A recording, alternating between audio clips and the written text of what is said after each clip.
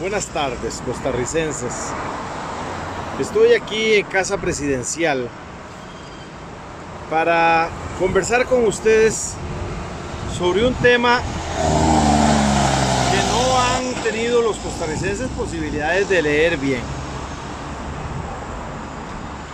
Una casa presidencial allanada, golpeada, desprestigiada, cortaron los árboles para que se viera la transparencia y desde aquí no solo eh, la verdad es que esta casa ha sido objeto del cementazo y de todas las últimas situaciones tan complicadas como el espionaje y el call center que terminó siendo un troll center.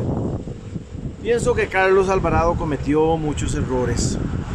Metió la pata y la verdad es que no ha querido la sociedad costarricense entender que lo que hizo el presidente de la República esta semana fue renunciar al gobierno. El gobierno renunció a poder gobernar y le dio el poder a Rodolfo Méndez Mata y a una comisión. Pero esta comisión invitó a Rodrigo Arias y a Rolando Lacle. Ahí hay tres figuras que han sido ministros de gobierno, ministros de la presidencia, Lacle, Rodolfo Méndez y Rodrigo Arias. Los tres Ro. Ro, Ro y Ro. Esos asumen el poder. Alvarado renunció sin terminar los primeros dos años de gobierno, renuncia a las ideas de transformación y de combate a la corrupción del PAC, abdica, logra capitular en lo que llaman algunos en un naufragio tempranero que no culminó con la mitad del gobierno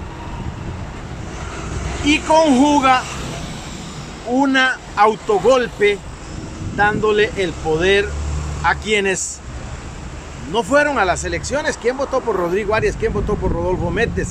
¿Quién votó por la CLE? Y ellos son los que están gobernando. Es una junta de gobierno que a diferencia de la junta de gobierno de don Pepe, que la nombraron después de la revolución y para hacer grandes transformaciones de crear el estado del bienestar, ahora esta junta de gobierno es para terminar de desajustar el estado de derecho. Para acelerar la privatización del CNP y de FANAL, los cambios que están queriendo hacer en la Caja Costarricense de Seguro Social y en el ICE, y en todo lo que tiene que ver con el tema de pensiones y los fondos de pensiones, es un proceso acelerado para repartir lo que aún queda del Estado. Y la gente no lo ve así. Diputado 58 tiene que hacer esa lectura correcta. Correcta. ¿A quién va a criticar ahora la fracción de Liberación Nacional? A Rodrigo Arias y a los Arias, o la unidad, a Rodolfo Méndez, que es el presidente en ejercicio, o a Rolando Lacle. ¿Y el PAC qué va a hacer ahora? Si se quedó sin presidente y sacaron a toda la gente que de alguna manera era PAC. ¿Qué dirá ahora Paola Vega? ¿Qué dicen ahora los seguidores del PAC? Los muchachos del PAC. Se quedaron sin Inés y sin el retrato. Es hora de que el poder ciudadano y el poder del soberano, contemplado en el artículo 9 de la Constitución, se prepare, se prepare porque las cosas más difíciles están por venir. La guerra contra el empleo,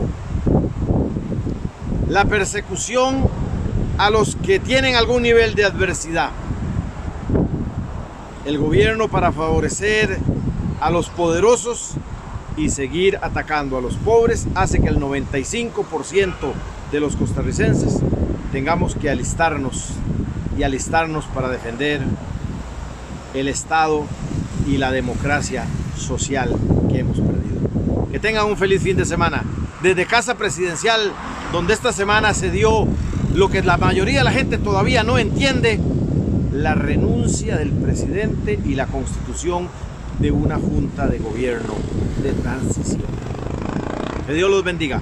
Muchísimas gracias.